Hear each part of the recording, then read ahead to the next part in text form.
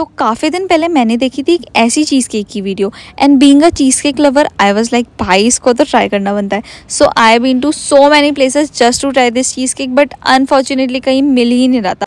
तो मैं चले गई थी कालसन कैफ़े, जहाँ पे काफ़ी सारी चीज़ केक की वेराइटीज़ रहती है।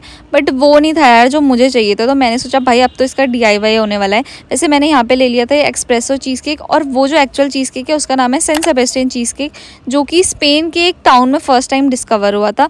और यहाँ मैं अपना ही चीज़ केक डिस्कवर कर रही थी तो मैंने यहाँ पर ले लिया था हर चीज़ का सिर्फ़ ये जो चीज़ केक है, इसकी कॉस्ट है टू हंड्रेड नाइन रुपीज़ और इस सिरप को तो आप सभी को पता होगा यार। वैसे मैंने ये हर चीज़ का सिरप लिया था, आप कोई सा भी चॉकलेट सिरप ले सकते हो या फिर कोई सी भी अपनी फेवरेट चीज़ केक ले सकते हो। तो यहाँ पे पहले तो मुझे लगा पता नहीं यार कैसे होने वाला है, लेकिन यार ये मेरी एक्सपेक्टेशन से ज़्यादा बेटर था। मतलब इसका टेस्ट काफ़ी अच्छा हो रहा था। तो आप लोग भी इसको ट्राई कर सकते हो।